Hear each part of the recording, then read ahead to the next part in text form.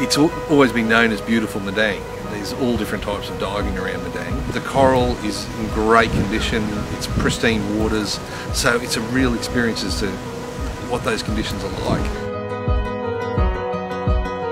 We've got so many different dive spots around Madang. All of them have got coral, schools of fish, all different types of coral. Most of these places are 20 minutes away by boat. It's so close. And Madang itself, you've got the markets there.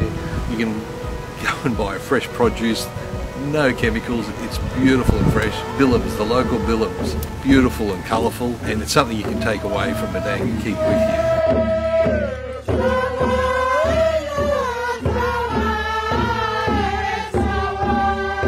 The people are friendly. It's not a put on.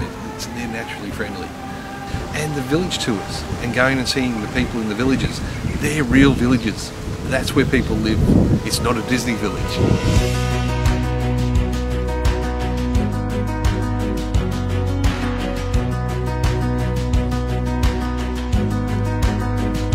There's the mountains, there's the sea, natural attractions, there's sulphur pools. Just here at the resort, there's several pools you can relax and enjoy.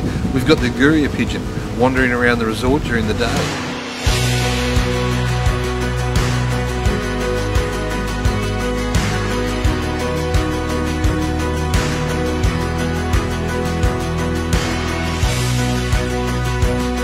Madang's just a lovely, relaxing place. It, it really is one of those jewels in the Pacific, so to speak. Um, beautiful Madang. It's, it's just a fantastic place.